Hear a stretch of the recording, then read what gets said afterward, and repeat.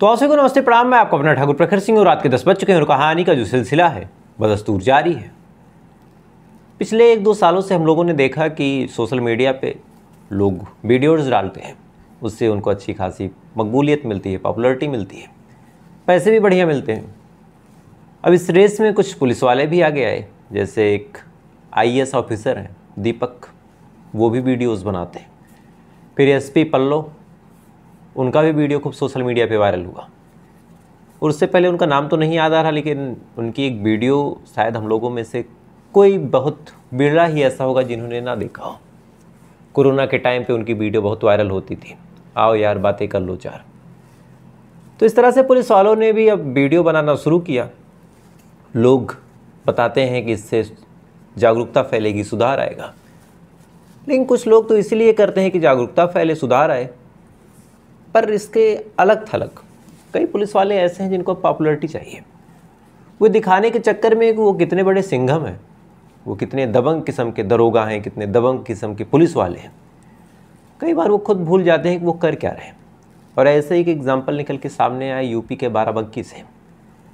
दरअसल यूपी के बाराबंकी में एक लेडी आई ऑफिसर, जो जॉइंट मजिस्ट्रेट के तौर पे वहाँ तैनात थी, मधुमिता सिंह। अभी दो दिन पहले की बात है, वो अपनी गाड़ी से वापस आ रही थी। अब ज़ाहिर सी बात है, जॉइंट मजिस्ट्रेट हैं तो उनकी गाड़ी पे लाल नीली बत्ती होगी। बाकायदा एक हूटर लगा होगा।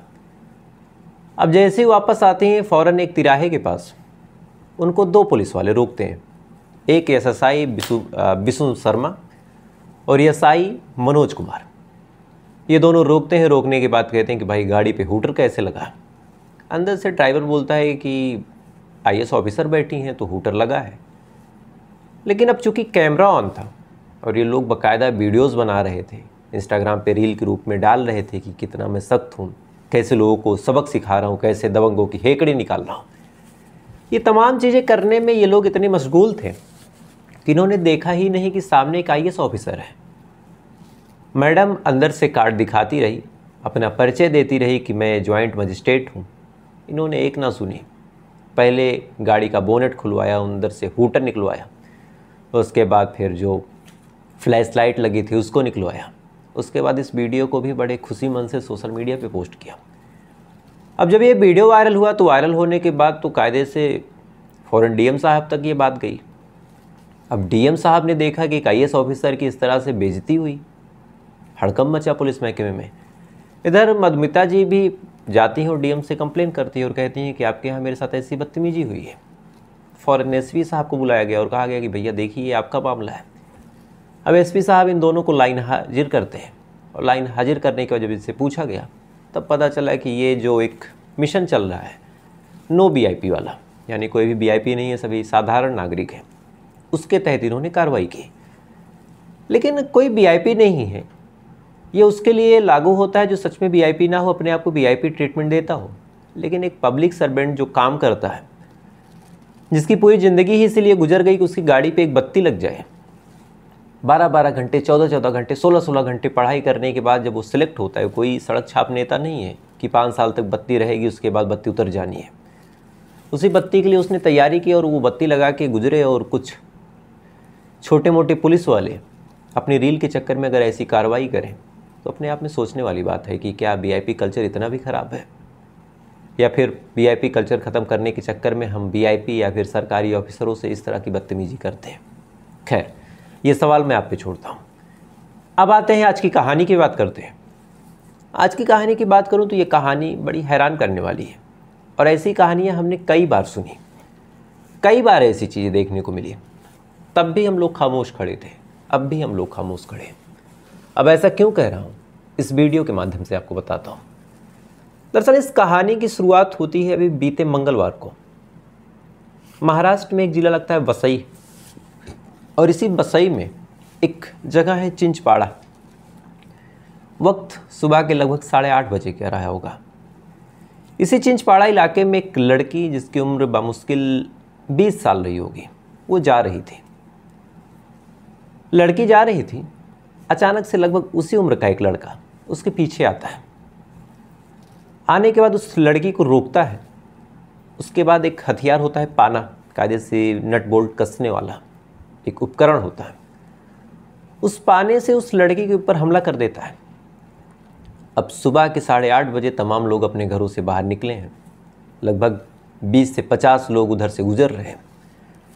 लड़की के ऊपर जब उस लड़के ने हमला किया, पाने का वार सर पे किया स्टील का वो भारी सा हथियार, चोट लगी, लड़की फ़ौरन गिर गई। उसके बाद एक एक करके उसने मारना शुरू किया। अब जब उसने मारना शुरू किया तो उसी टाइम पे वहाँ कम से कम पचासियों लोग मौजूद थे। उनमें से कुछ देर बाद एक शख्स आगे आता है। आगे आने के बाद इस सिरफरे नौजवान को रोकने की कोशिश करता है, लेकिन फ़ौरन ही ये उसके ऊपर भी हमला कर देता है। अब वो इकलौता करे क्या? दूर हट के खड़ा हो गया। लगभग तीस सेकंड में पंद्रह से ज़्यादा वार इस लड़के ने किए। और इन तमाम वार के चलते उस लड़की की वही मौत हो गई। जब तक ये लड़का वार कर रहा था, बाकायदा वहाँ पे कई लोग गुजर रहे थे, कई लोग वीडियो बना रहे थे, कई लोग आपस में डिस्कस कर रहे थे कि आखिर मामला क्या है।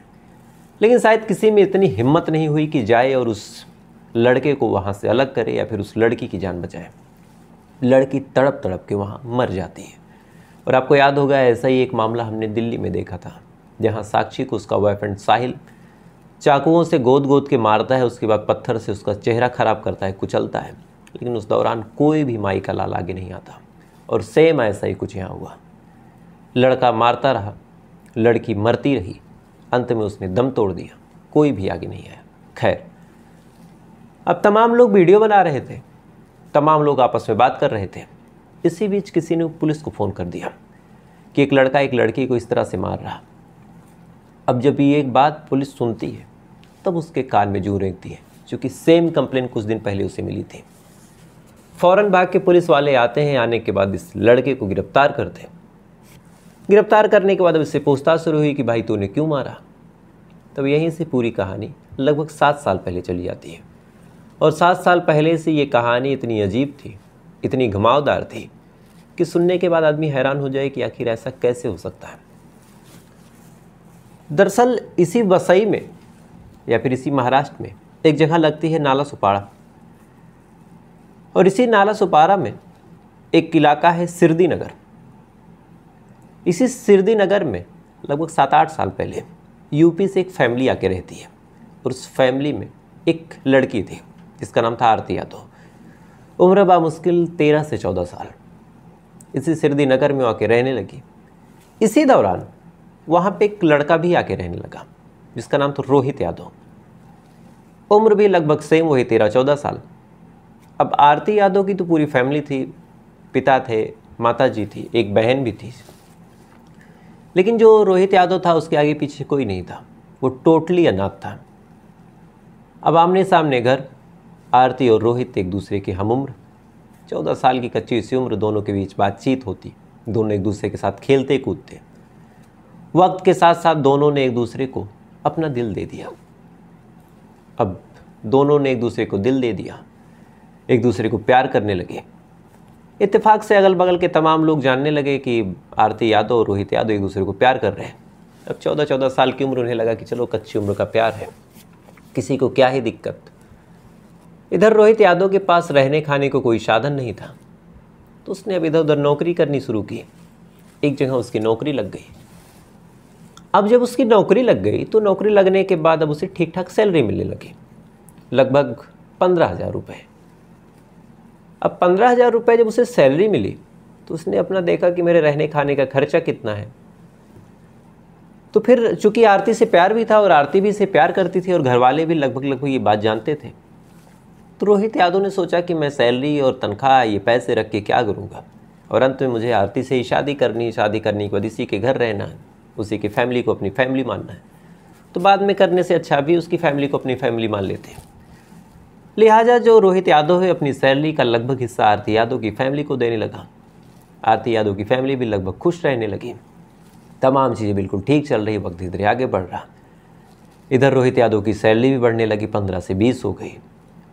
रोहित अपनी सैलरी में से, जो उसने अपने बयान में बताया, कि तीन से चार हज़ार रुपये अपने पास रखता था, बाकी वो तमाम पैसे आरती यादव की फैमिली को दे देता था। आरती यादव की फैमिली भी खुश कि चलो, एक होनहार लड़का कम से कम इस कदर मेरे परिवार को पसंद कर रहा, इस कदर मेरे परिवार से जुड़ रहा कि इस महँगाई भरे दौर में इतने पैसे, जो उसकी मेहनत के हैं, उठा के मुझे दे दे रहा। तो फैमिली भी अब रोहित यादव को पसंद करने लगी। तमाम चीज़ें बिल्कुल ठीक। ये कहा गया कि जब तुम दोनों बड़े हो जाओगे, तुम दोनों की शादी करवा दी जाएगी। वक्त और आगे बढ़ा। लेकिन इसी दौरान अब आरती यादव भी जब बड़ी हो गई तो उसने सोचा कि इधर रोहित कमा ही रहा। परिवार की हालत उतनी अच्छी है नहीं तो अगर मैं भी कहीं नौकरी करूँगी तो शायद चीज़ें ज़्यादा बेटर होंगी। इस बारे में आरती यादव ने रोहित यादव से डिस्कस किया। उसने कहा कि क्या मैं नौकरी करूँ? रोहित यादव ने कहा कि इससे बढ़िया क्या है? तुम भी कमाओगे, परिवार की थोड़ी बहुत हेल्प हो जाएगी। चलो मैं तुम्हारे लिए कहीं नौकरी की बात करता हूँ। इसके बाद रोहित यादव ने आरती यादव के लिए एक जगह नौकरी की बात की। इतफाकन बात बन गई, उसके बाद आरती यादव की वहाँ नौकरी लग गई। रोहित भी वहीं काम करता था। अब दोनों बॉयफ्रेंड गर्लफ्रेंड एक दूसरे के साथ अब जाते और वहाँ पे नौकरी करते तनख्वाह भी दोनों की डबल हो गई। पैसे भी ठीक ठाक आने लगे। रोहित यादव भी खुश था कि अब हम दोनों की शादी हो जाएगी। आरती भी खुश थी कि हम दोनों एक दूसरे से शादी करेंगे, सुखी जीवन गुजारेंगे। लेकिन इसी दौरान इस कहानी में एक ट्विस्ट आता है। दरअसल आरती यादव जब देखती है कि उसके पास ठीक ठाक सैलरी आ रही है ठीक ठाक उसके पास पैसे आ रहे हैं तो दुनिया के चकाचौध में थोड़ी सी भगने लगती है। उसके दिमाग में एक आइडिया आया कि क्यों ना और लोगों से बातचीत की जाए। देखा जाए कि दुनिया में क्या चल रहा। इसके बाद ऑफ़िस में उसके कुछ दोस्त दोस्त भी बने। अब जब दोस्त बने तो फिर दोस्तों से भी बातचीत होने लगी, लेकिन कहीं ना कहीं रोहित को ये बात बर्दाश्त नहीं होती थी। रोहित देखता था कि उसकी गर्लफ्रेंड किसी और से बातचीत कर रही, किसी और से कांटेक्ट में है। ये चीज़ें उसे पसंद नहीं आई उसने मना किया। लेकिन इसी दौरान आरती यादव एक लड़के की तरफ़ अट्रैक्ट होने लगी। उसने उस लड़की को प्रपोज़ किया। वो लड़का भी आरती यादव को प्रपोज़ करने लगा। इसके बाद अब आरती कायदे से एक ही ऑफ़िस में दो लोगों की गर्लफ्रेंड हो गई, रोहित, जो बचपन का प्यार था, और साथ ही एक नया ऑफ़िस का आदमी ये बात रोहित को पता चली। रोहित को ये बात बिल्कुल पसंद नहीं आई। रोहित ने विरोध किया और कहा कि तुम उस लड़के को छोड़ दो। रोहित ने जब कहा कि लड़के को छोड़ दो तो आरती ने वहाँ पे मना कर दिया और कहा कि नहीं, मैं उस लड़के को पसंद करती हूँ। अब ये बात जब रोहित नोटिस करता है कि आरती ने ऐसा बोला, मानो उसके पैरों तले तो ज़मीन खिसक गई, चूँकि जिस लड़की के लिए उसने अपने तमाम सैलरी छोड़ दी छः साल से उस लड़की के प्रति वो लॉयल था, आज उसने ऐसा बोला। मजबूर रोहित करे तो करे क्या? उसने फैसला किया कि वो आरती के फादर को इस बारे में जानकारी देगा। वो जाता है आरती के फादर को इस बारे में बताता है। आरती के फादर बीच में कुछ समझौता कॉम्प्रोमाइज़ कराने की कोशिश करते हैं। लेकिन धीरे धीरे अब आरती भी रोहित से पीछा छुड़ाने लगी अब इसी बात को लेकर आरती और रोहित के बीच तकरार होने लगी अब जब तकरार हुई तो एक दिन काफ़ी लड़ाई झगड़ा भी हुआ, हाथापाई भी हुई। आलम ये हुआ कि एक दिन रोहित ने आरती को धमकी दे दी और धमकी दी और कहा कि अगर तुम उस लड़के से बातचीत करोगी तो तुम्हारा परिणाम जो होगा वो अच्छा नहीं होगा। उसके बाद आरती ने ये बात घर वालों को बताई। घर वाले जाते हैं पुलिस स्टेशन और कंप्लेन दर्ज करवा देते हैं और कहते हैं कि एक लड़का मुझे परेशान कर रहा। अब घर वालों ने जब कंप्लेन दर्ज करवाई तो कायदे से पुलिस वालों को यहाँ पे कोई सख्त कार्रवाई करनी चाहिए थी क्योंकि मामला वन साइडेड लब का था। पुलिस वाले रोहित को बुलाते हैं और बुलाने के बाद समझा बुझा के छोड़ देते हैं। अब यहीं से रोहित के मन में गुस्सा आता है। रोहित सोचता है कि जिस लड़की के लिए मैंने इतना किया वो मुझे जेल की हवा खवाने के पीछे पागल। अब तो मुझे कुछ करना होगा। उसके बाद रोहित एक प्लान बनाता है कि अब जिससे आरती ने मेरे साथ ऐसा किया, उसको मुझे सबक सिखाना है। तो सबक कैसे सिखाना है? तो फिर बाकायदा रोहित 18 तारीख को, यानी भी जो 18 तारीख गुजरा, इसी 18 तारीख को आरती का पीछा करता है। उसके बाद आरती को रोकता है। रोकने के बाद आरती के ऊपर हमला करता है और अंत में आरती का कत्ल कर देता है। कत्ल करने के बाद पुलिस वाले जब उसे गिरफ़्तार करते हैं तब ये तमाम कहानी वो सुनाता है कि कैसे शुरुआत में उसका एक तरफा प्यार था और कैसे आरती ने उसे धोखा दिया। अब इस कहानी को अगर आप ध्यान से समझें तो इस कहानी के दो पहलू हैं। पहला पहलू रोहित का है। उसके हिसाब से वो छः साल तक लगातार आरती को लेकर सीरियस था। छः साल तक लगातार उसने तमाम वो चीज़ें की, जो एक बॉयफ्रेंड जो एक हस्बैंड या फिर जो एक लाइफ पार्टनर अगर सीरियस रिलेशनशिप पे हो तभी करता है। जैसे अपनी पूरी सैलरी फैमिली को दे देना छः सालों तक किसी और लड़की की तरफ़ ना देखना और अंत में उसे क्या मिला? वो था धोखा। दूसरा पहलू इस कहानी का है आरती के फैमिली मेंबर्स का। उन्होंने कहा कि हालाँकि दोनों रिलेशनशिप में थे, लेकिन हमारी जो लड़की थी उसके साथ अब खुश नहीं थी। इस बारे में जब रोहित यादव ने बाकायदा धमकी दी घर वालों पे हमला किया, घर पे आके ड्रामा किया टॉर्चर किया हड़कम मचाया तो हमने पुलिस को पूरे मामले की गंभीरता बताई थी कि किस हिसाब से हमें एक लड़का परेशान कर रहा। अगर पुलिस वाले उस टाइम कुछ सख्त कार्रवाई करते और इस लड़के को डरा देते तो शायद ये लड़का इस तरह से तमाम काम न करता। अब इस कहानी में एक और फैक्टर है। अगर आप ध्यान से देखें तो कुछ टाइम पहले ही शाहिल ने भी ऐसा किया था। तब तमाम लोगों ने उस पर कहा था कि अगर हमारे इलाके की बात होती तो हम कुछ और करते, हम पलट के रख देते, हम बचा लेते। लेकिन हर साल ऐसे ही महीनों में, दो चार छः महीने के अंतर पे ऐसी चीज़ें होती हैं। एक सिरफिरा भरे बाज़ार में एक लड़की को मारता है, एक लड़की को टॉर्चर करता है, परेशान करता है। लेकिन कोई भी, कोई दिलचस्पी नहीं दिखाता, कोई भी बढ़ के मदद के लिए आगे नहीं आता। तो शायद पुरुषार्थ कहीं ना कहीं अब ख़त्म हो चुका है। खैर, एक लड़की जो मर गई, एक लड़का जो मार के जेल में है और लोग वीडियो बना रहे हैं। तो फ़िलहाल ये थी पूरी कहानी। उम्मीद है कहानी से आपने कुछ सीखा होगा। सीखा होगा तो वीडियो को लाइक करके चैनल को सब्सक्राइब कर लीजिएगा चूँकि ऐसी ही कहानियों के साथ मैं आता रहता हूँ। तो आपसे कल फिर मुलाकात हुई किसी दूसरी सच्ची कहानी के साथ। तब तक अच्छे रहिएगा, खुश रहिएगा, अपना ख्याल रखिएगा, अपने देश का ख्याल रखिएगा। जय हिंद बंदे मातरम।